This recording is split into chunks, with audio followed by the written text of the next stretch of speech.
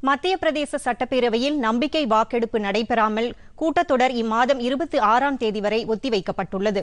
Budget கூட்டத்தொடர் இன்று தொடங்கியதும் மாநில ஆளுநர் லால்ஜி தாண்டன் தொடக்க உரை நிகழ்த்தினார். அரசியலமைப்பு சட்டப்படி நடந்து கொள்ள வேண்டும் என்று பேரவை உறுப்பினர்களை ஆளுநர் வலியுறுத்தினார். ஒரு நிமிடம் மட்டுமே நடைபெற்ற ஆளுநர் உரைக்கு பிறகு பிஜேபி உறுப்பினர்கள் ஆளும் காங்கிரஸ் அரசு மீது நம்பிக்கை வாக்கெடுப்பு நடத்தப்பட வேண்டும் என்று கூறி முழக்கமிட்டனர். இதற்கிடையே நாட்டில் கோவிட் 19 பரவுதல் தொடர்பாகவும் இதற்கு மத்திய அரசு அளித்துள்ள அறிவுறுத்தல் குறித்தும் அவையில் விவாதிக்கப்பட வேண்டும் என்று அமைச்சர் கோவிந்த் சிங் வலியுறுத்தினார். இதை ஏற்றுக்கொண்ட அவைத் தலைவர் மத்திய பிரதேச சட்டப்பேரவை கூட்டத்தொடர் வரும் இருபத்தி ஆறாம் தேதி வரை ஒத்திவைக்கப்படுவதாக தெரிவித்தார்.